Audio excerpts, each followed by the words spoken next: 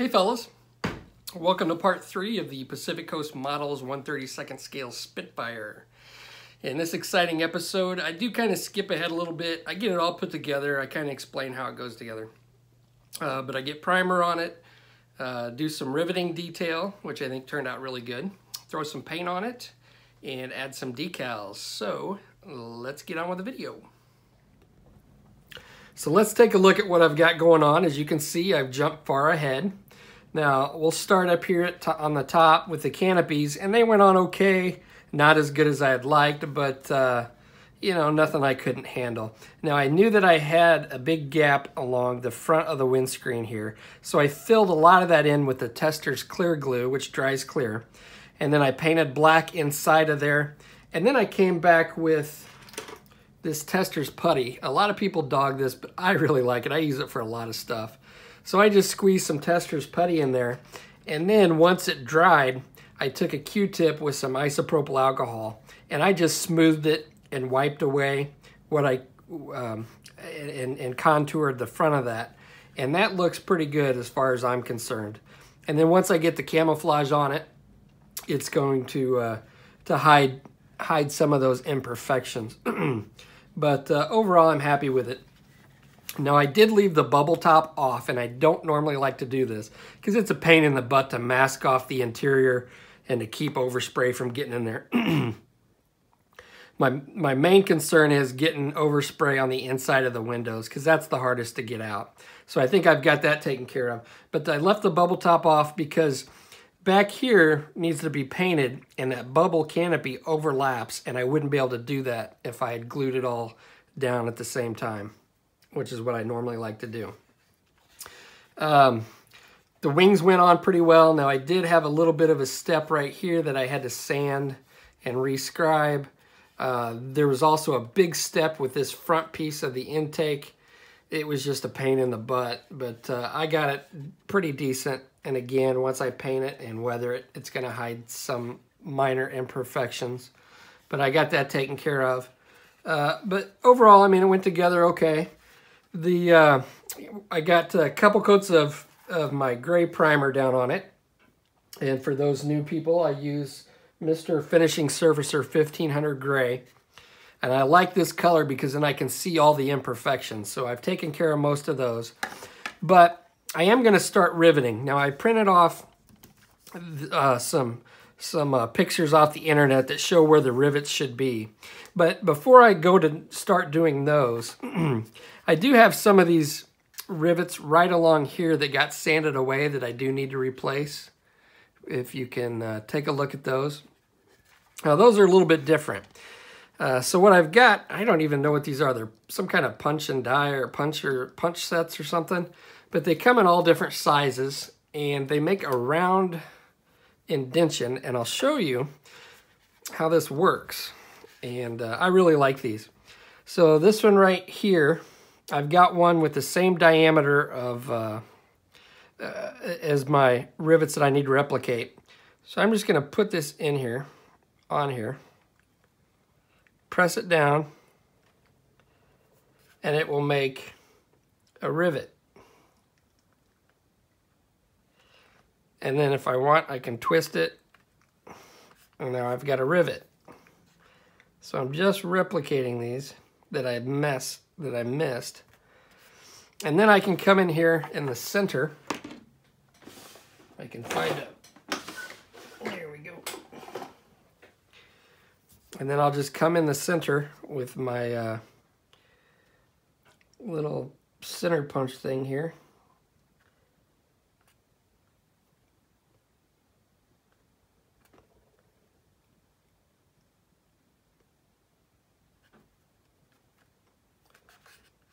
And it's not perfect, but uh, just replacing those rivets. So I'm going to go along and check and make sure um, that I re-rivet any of those lost rivets to my uh, sanding. And I think I'm pretty good. There might be a couple down here that I have to fix, but I'm going to go ahead and check and double check and make sure I got all those taken care of.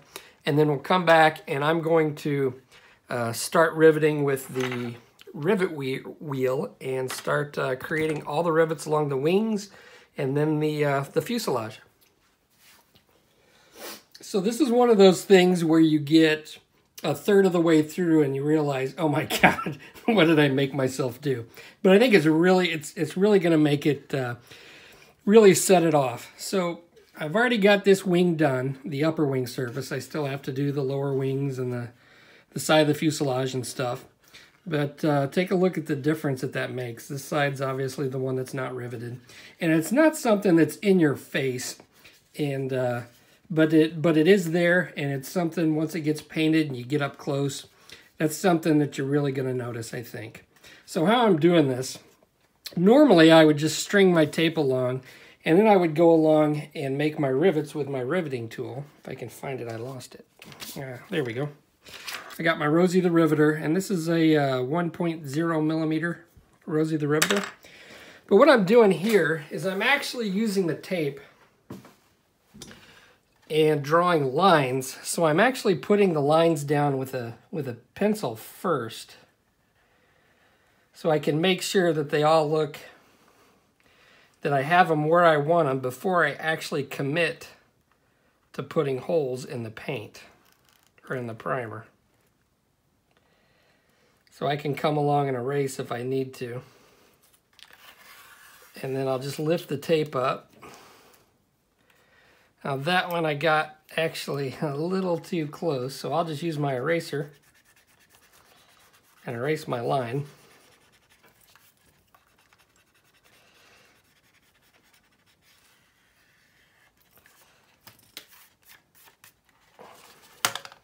And with this primer that I use, it uh, it's really good stuff. You wouldn't be able to do this with Vallejo primer.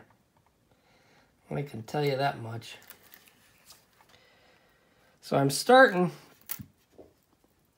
where I know, where I can uh, cheat off the panel line right here based on the drawing that I have. So I'm just going to start here. And then I'll just work my way off the panel lines throughout the whole wing. So let's... Now if I would have went ahead and used my riveting tool along the tape, and I was off, uh, I'm not going to change it unless I get my sandpaper out and my my uh, putty and fill in those little holes. So this way I can actually see what it's going to look like before I rivet. Okay, so I'll draw out all my lines and then I'll take my riveting tool and then just go along and rivet where my pencil lines are. Um, and that's basically how I'm doing it. So I'm going to get on with this and uh, get this all marked off. I'll do the upper surfaces, the lower surfaces, and then I'll come back and work my way back because I don't think there are a lot of these small rivets up front. I think uh, I think the rivets usually I think the rivets are starting right right around this area where the uh, the cockpit is and, and move back. So see you in a bit.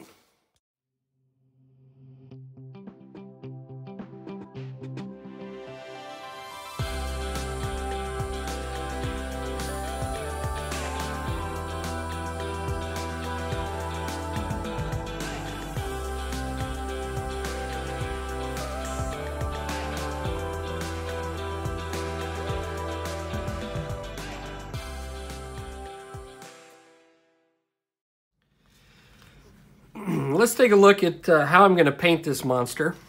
And the owner wants me to do Broomhilda. Now, I think it's actually supposed to be Brune with an N and not an M.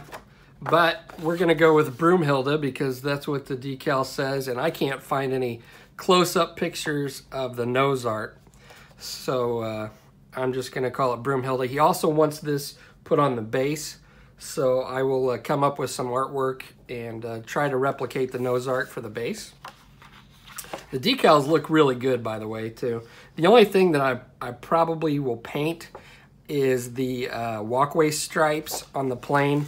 And I'll do that, I'll show you how I do that. It's basically when I put the, the black primer coat down, I will just mask off this area with thin strips of tape. And that's gonna be much better than trying to deal with these little bitty uh, real thin uh, and narrow decals.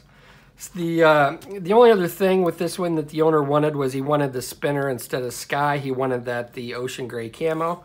No problem. That's uh, some Spitfire people will probably freak out about that, but hey, this is the way the guy wants it, so that's the way we're painting it. And um, I do use Tamiya paints, and I know I'll get questions what I use for this and what I use for that. Now, keep in mind, my, my theory on paint is as long as it's close, who really cares? You get a lot of people that say, oh, that's not right. You can't use this specific color because, you know, it's just a shade too dark and whatever. When, when you when you get to blending and, and fading and in, in under different lighting conditions, it really doesn't make a difference. and if you're that uh, worked up about it, then uh, I don't know, go go do something else. But for the uh, the uh, ocean gray color, I've got this XF82, which looks pretty close. It actually says on here Ocean Gray 2 RAF, but uh, that looks pretty close, so I'm not going to have to mix up any for that. For the underside, I think it's medium gray, medium sea gray.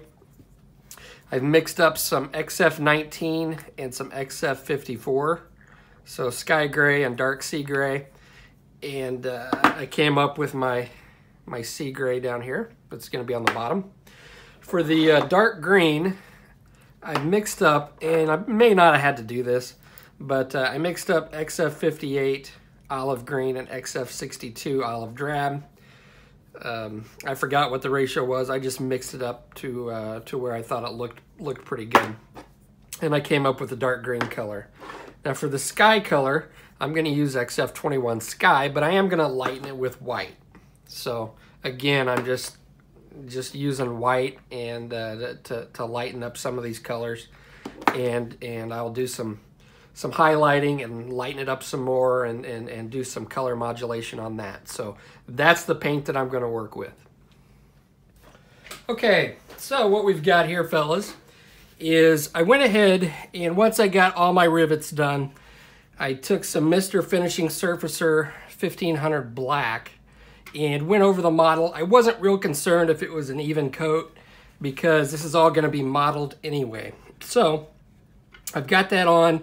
I took a real high grit, like a 6,000 grit uh, sandpaper and went over it just to smooth out any roughness that I had. I didn't have too much, but uh, did have a little bit, but I smoothed that out.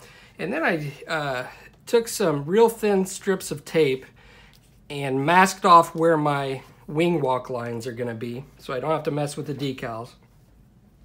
And I took this little pencil I got at Hobby Lobby. It's a it's an all-surface pencil in white, and I drew out my camouflage. I just find this a little bit easier when I'm trying to replicate a camouflage to draw it out first, or to at least have a map or something. Uh, I'm not going to mask this off. This is all going to be freehand. So uh, I, it's just a lot easier for me when I go to airbrush that I have have it set on the model where I want it. So I drew it out in this, and this comes off pretty easily. But uh, I've got it all on there. And uh, what I'm gonna do next is I'm gonna do my uh, marbling layer in this Mr. Base White. I'm gonna thin it down a lot. And I'm just gonna go around and, and uh, marble inside of the panel lines, inside the rivet lines, because I want this one to be really stark. I want it to be pretty dirty and grungy and weathered. So I'm gonna go ahead and get on with that. And once I get this marbling layer down, what I'm gonna do is I'm gonna take some aluminum and spray it right along the uh, the wing root here. And so I can I can uh, scratch some, some of the paint off to, to wear it out. Um, and then probably along the leading edges of the wings as well. And I'll use some of my scratches effects to take care of, to uh, to put down before I start spraying my base coats down. so that's my plan. I'm going to get on with uh, painting this and then I'll probably show you some pictures or I'll stop and show you what it looks like in the various stages.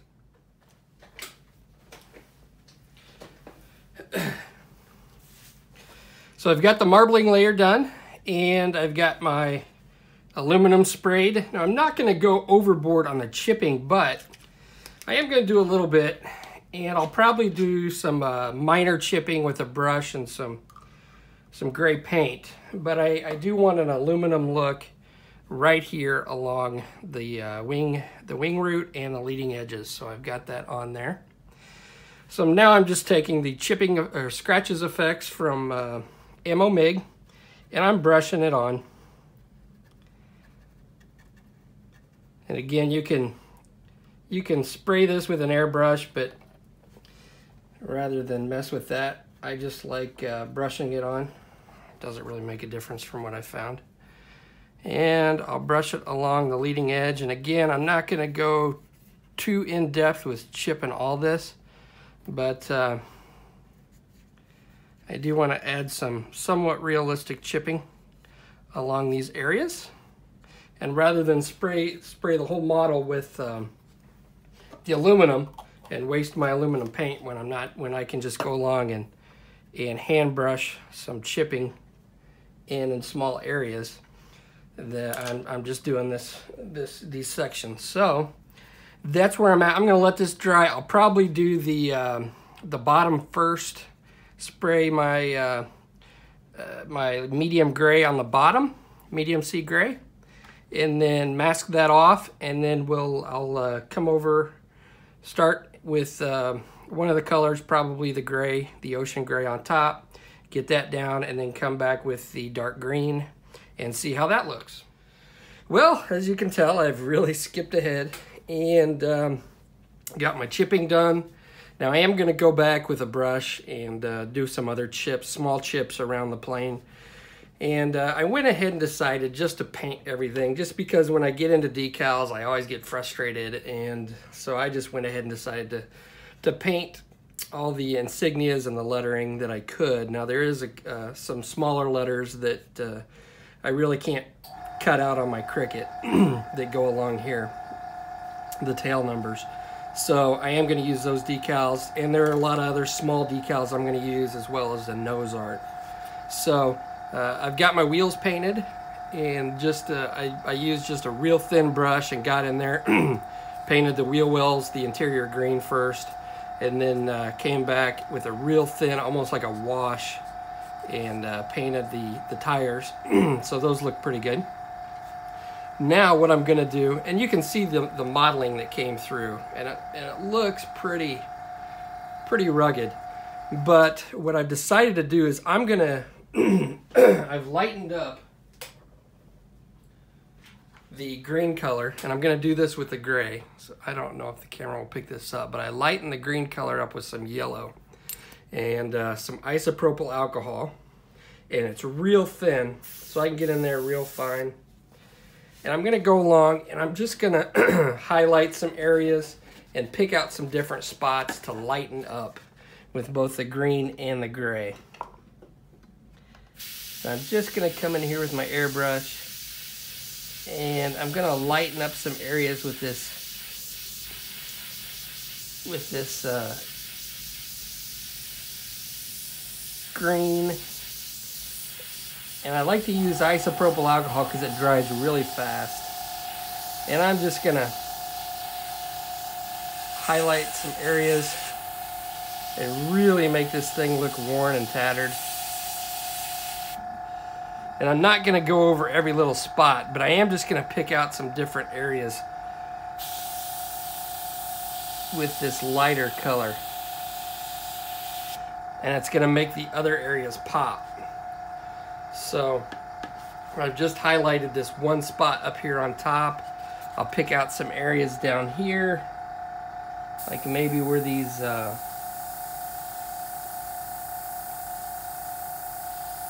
little access doors are.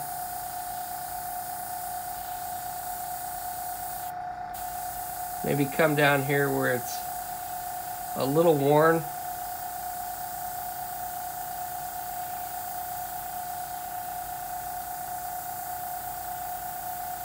Lighten that up a little bit.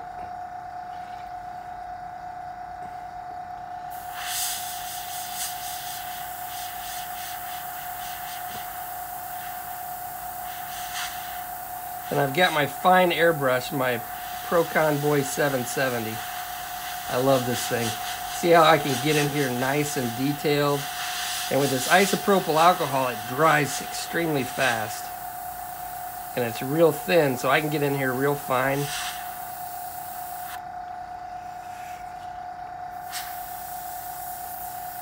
And again, I'm not, I'm not going over the whole thing. I'm just picking out different areas.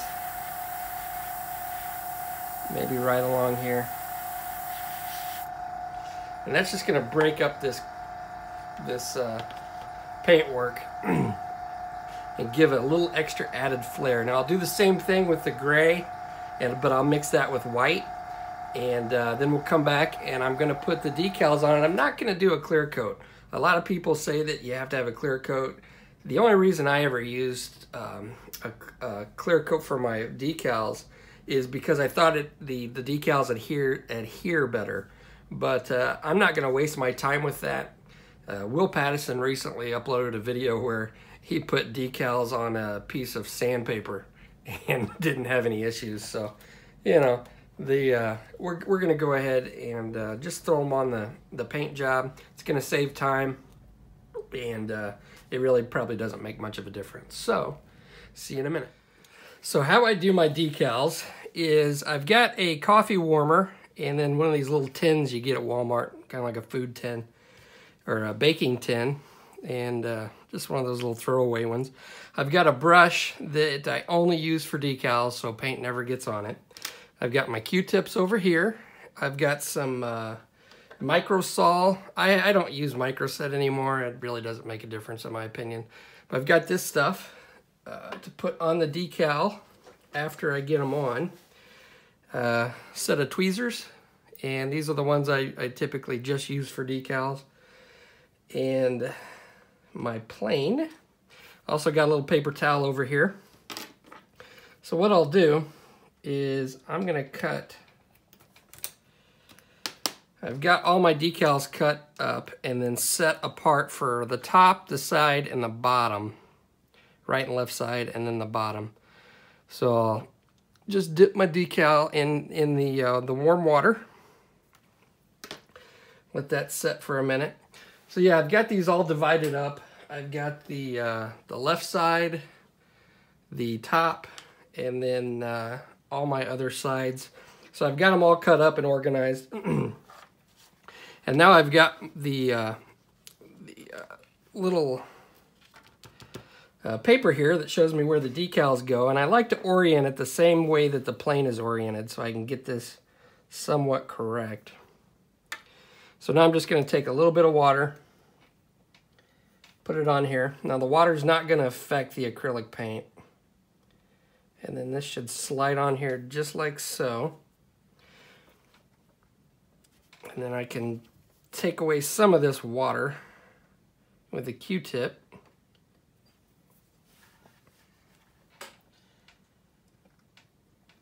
Get it on there where I want it. And it's always good to wet your Q-tip first. Whereas my, since I'm working on a Spitfire, my cotton bud. And then I just roll over it like that. Now these look like pretty good decals, so hopefully they'll work out okay. I, I can't stand, can't stand decals.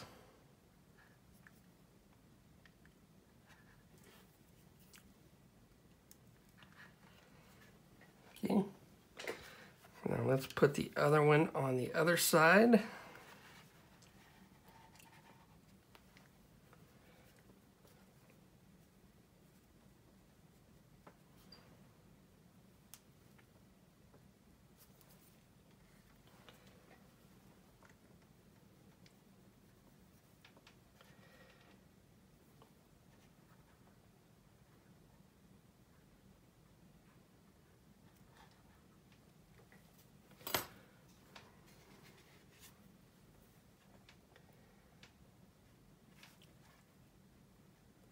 And when you get the decals on, if you have problems moving them,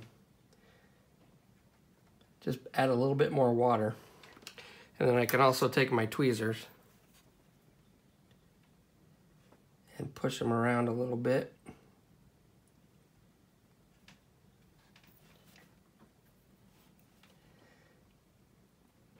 Try to get them even. I know some people use tape to uh, to line up their decals.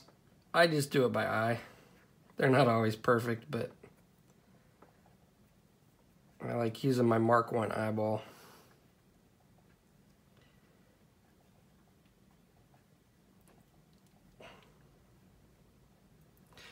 And that's all there is to it. Now, then I'll take a little bit of this Microsol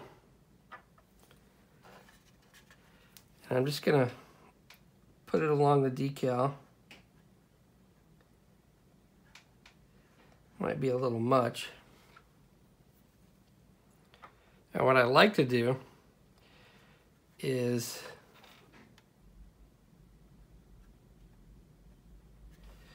once that starts to uh, affect the decal, a lot of people tell you not to do this, but I get away with it sometimes.